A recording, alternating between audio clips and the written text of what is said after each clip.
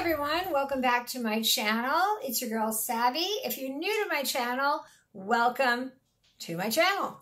Today I have a great video for you. Today is going to be my very first fashion oriented video on my new handbag and I'm very excited about that. If you're interested in videos like this, please subscribe to my channel if you haven't already. Give me a thumbs up or even a comment in the comment section. All is welcomed, all is appreciated. So thank you in advance. So my love of handbags, designer handbags, really started, I would say, somewhere around 25 to 30 years ago.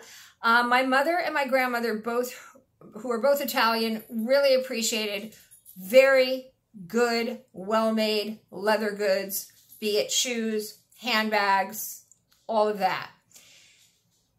I remember in the early 90s getting a, as a gift from my mom, getting a Dooney and Bourke bag. That was like a big thing back then. And they weren't super high-end bags, but for a young woman, because I was a young woman at that time, very young, that was a good quality bag, was to have like a Dooney and Bourke or a Coach or something like that. And I, I loved it. I, I've used it a lot. I had like a matching wallet, absolutely loved it. And don't get me wrong, I was a single mom for a long time, so I've had my fair share of you know, fashion purses that you pay, you know, 20 bucks for and they last you, you know, two, three dozen usages and then they look like crap and you donate them or throw them out or whatever. But hey, you know, every once in a while, it's nice to have like a fun fashion bag for a particular event, something like that. Perfectly fine. And I've as I said, I've had my share of them over the years. But I started to really appreciate good quality, high-end designer handbags more and more. And on my birthday in 1999, my godmother, my comare, she bought me a Louis Vuitton small tote bag. It was my first Louis. It was genuine Louis. And I still have it. I see how it has held its value you know, Louis Vuitton started in the 1800s as a shipping trunk company and just beautifully made bags. And of course, they match everything. You know, the, the newer ones have the gray with the, the light gray insignia. And there's been some that were white and some that were black with more colorful insignia. But their basic design is the brown with the tan. But it doesn't matter. It goes, Louis goes with everything. So I remember just being so excited about that bag and I, I, used it and I still use it. I also remember when the knockoffs came off and people had like knockoff parties. This was back in the day before they shut all that down, you know, in downtown LA or downtown New York, uh, you know, places that were selling these knockoffs. But I had a friend that bought a knockoff and from far away, it looked like a genuine Louis. Just when you got up closer, you looked inside of it, it said uh, Louis Vuitton uh, made in Papis, France. Papis, France. So, you know, I was super appreciative of my Louis tote, which I still have. And, you know, my grandmother was that kind of person where if you only, she didn't have a lot of clothes, but the things that she had were quality and she took good care of them because that was her thing. It's like, if you only own one pot and one dish rag, they better be a quality pot and dish rag and you better keep them they better be the cleanest pot and dish rag in, in town. And so with my Louis tote, you know, I've always taken really good care of it and I still have it. And you know, I, I love a Louis. Who doesn't? This past year, I was, uh, during COVID, I had started out the year using my Louis clutch, which I purchased just a few years ago. And I love this clutch, but it's almost kind of like not big enough, especially as we got into COVID and we've got, you know, masks and wipies and antibacterial stuff. And, you know, I started running out of room in here and that's when I went over to the, to the tote. So basically, you know, here it is end of spring, beginning of summer, I just wanted a new bag. So the big reveal, I ended up getting a Teddy Blake bag. Teddy Blake, New York. Ta-da! The big reveal. Ta-da! Again. So the reason I went with a Teddy Blake bag, uh, two things. A couple of years ago, first time I'd ever heard of a Teddy Blake bag.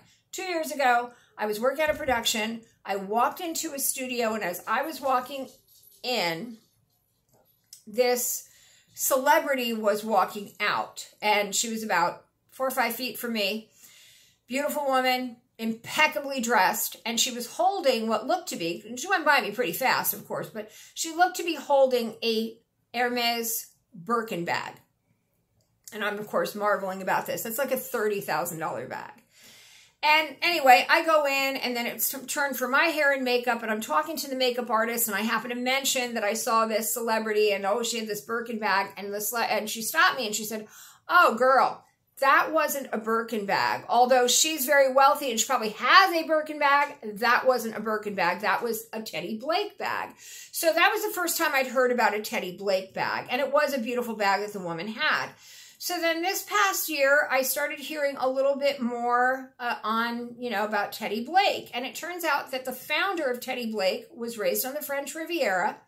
It was his mission to go to New York and start a handbag company using the same fine Italian leather that the really high-end bag companies use and the high-end hardware to make the Teddy Blake bags and then offer them to, you know, luxury high-end designer bags at affordable prices for women just like me. Because I'm in Los Angeles, but I am not one of those women in Los Angeles that has a veritable bedroom size walk-in closet with dozens upon dozens of designer bags. I have about a dozen designer bags total. And, you know, I, I take really good care of them and I'm really picky about what bags I get. So here is my Teddy Blake bag. This is called the Bella Stampato. And because I'm Italian, I know that means beautiful, hard, I think it translates like beautiful hard copy bag, which I think means beautiful structured bag would probably be a more close translation of that. And that's exactly what it is. It is fine Italian leather. It is nicely structured. It is a little bit soft. Like it's not like hard, like you can knock on it and it feels like wood. It's not, it's really nice quality, soft leather, but just structured in the way it's manufactured and put together. I love that it has the crossbody strap that you can remove so you can wear it as a crossbody bag. It's a 12 inch bag, so it's not too big. It's not you're like you're lugging around a suitcase like back in the day. We all did that. Um, it has wonderful pockets. Oh boy, do I love good pockets and a, a, good utilitarian bag that you can really organize well. I can't stand when you spend a lot of money on a bag and it's a big open like crevice that everything's rolling around in there. Like I have an insert to organize that, but when you pay a lot of money for a bag, I don't think you should have to do that. So with this, there's three big pockets and it's just like room for everything without being heavy or crowded. So in the middle, I have my Louis Vuitton wallet, which is my summer wallet, my yellow wallet. I can put my cell phone in it. Um, I've got my antibacterial, my masks, my tissues. In this compartment, I have my protein bars, my uh, snacks, my, my nuts, my snacks for my little grandson, my little organic cookies for my grandson. Um, in the third compartment, I have my makeup bag. It says boss girl or girl boss because that's what I am. And, you know, my little, like, pad. I always carry, like, a little, like, notebook and some pens. And love my, my beautiful mask, which I'm wearing a little less of, but still, still wearing it. Still trying to be careful. And it really just is a nice, it's not heavy. It's They have bigger bags. They have 15-inch bags, bigger bags. They have smaller bags. They have a variety. It's not just like the Birkin style bag, which I was glad about because I didn't want that bag. I just wanted a really nice bag with, you know, high quality bag. And that's what I got. And by the way, it's about $400. So, you know, with the Louis, they're over a thousand. A lot, most of the designer bags are over a thousand. You're getting designer quality at the 400 they're between three and six hundred dollars the teddy blake bags that you know i've seen. So an excellent excellent bag. I really love this bag and i've only had it a short time and i've already gotten a ton of compliments compliments on it and i really love it. Also you get a teddy blake shopper to help you. Sorry off camera. That's my little dog he wants to come in um, this is the box it came in, so it's a nice designer box. And of course, it has the dust, dust bag. This is Teddy Blake, New York.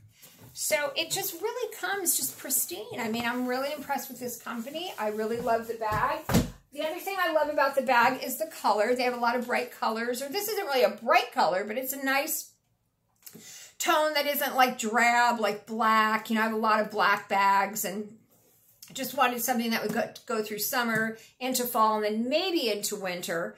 And I really, really love this bag. So I give the Teddy Blake Company four out of five stars. Now, you might be wondering, Savvy, why won't you give them five stars?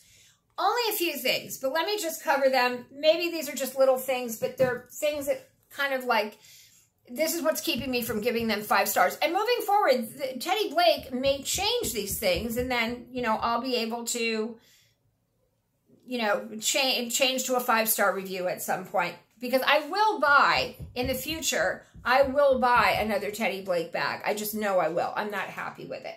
But just a few things. First of all, I do think the name Teddy Blake is a bit boring. I do. I mean, maybe it's because Louis Vuitton is such a beautiful name. Coco Chanel is such a beautiful name, Chanel. But her actual real name was Gabriella Chanel. But she had enough forethought that she knew that Gabriella Chanel just did not sound that great. And that Coco, her nickname, just sounded like a better name. So her line of goods is Coco, you know, is really, she's Coco Chanel.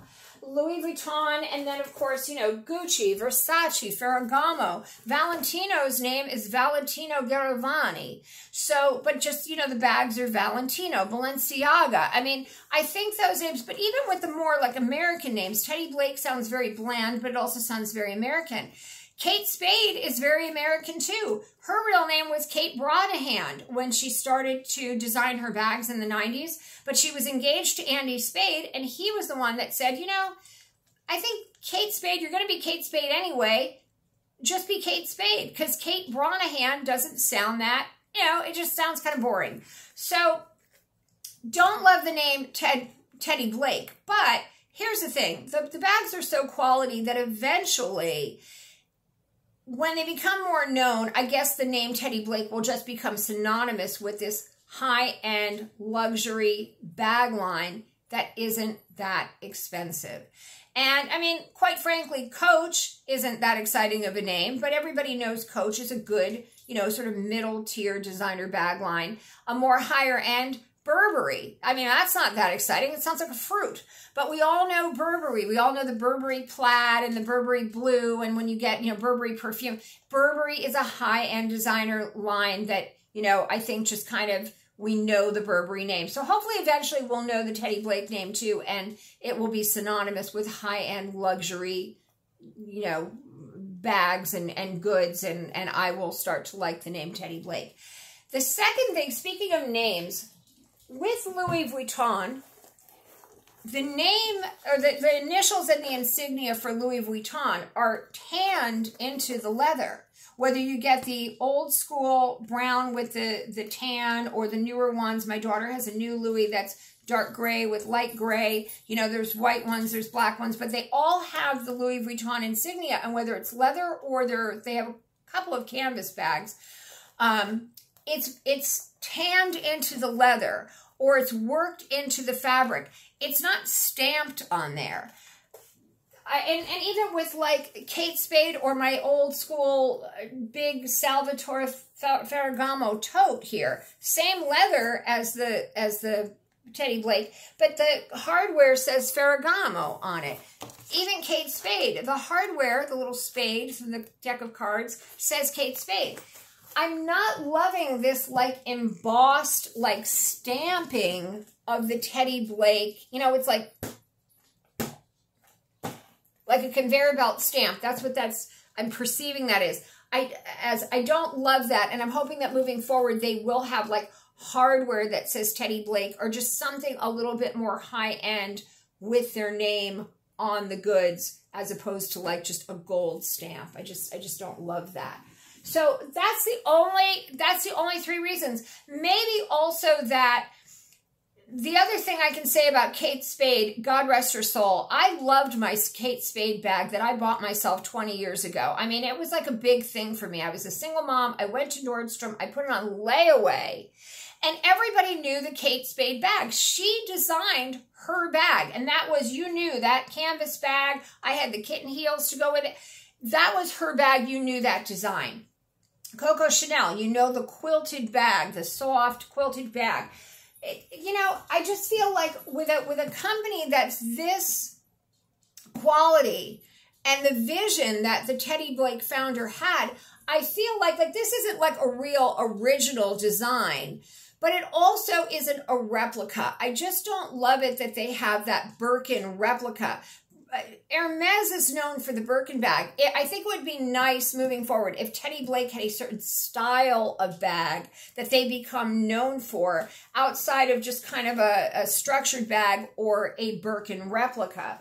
So those are my those are my notes on that. But again, I really do give Teddy Blake at least four stars, maybe even a, a, little bit more than that, four and a quarter, four and a half. And I guarantee I will be buying another Teddy Blake bag in the future, and I'm going to take good care of that and really enjoy that one. So, hope you liked my fashion video today. Thanks for watching. Hey, everybody, stay fabulous, stay safe. I will see you next time. Have a terrific weekend.